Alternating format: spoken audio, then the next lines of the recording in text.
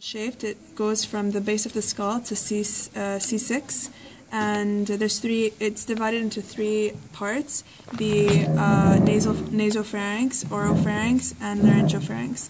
The there's three openings. The first opening here is the um, nasocoineal. The second one is the oropharyngeal isthmus. The third one here is the laryng laryngeal inlet.